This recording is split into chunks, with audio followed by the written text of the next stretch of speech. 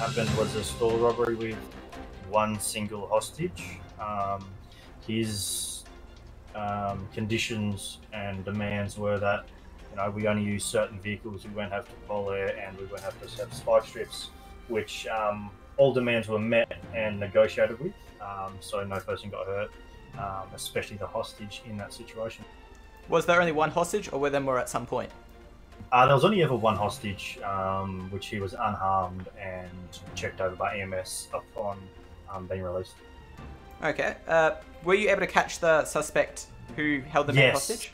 Yes, we did. We ended up catching him. He ended up having a firefight inside a jewelry store, which um, no officers were harmed, but he took a few shots.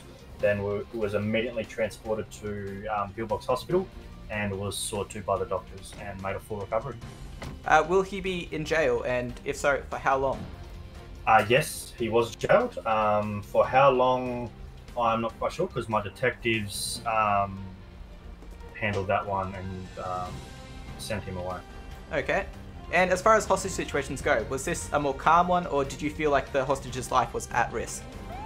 Um, my negotiator did an amazing job. I felt that the hostage was never in risk at all due to my negotiator. He did a swell job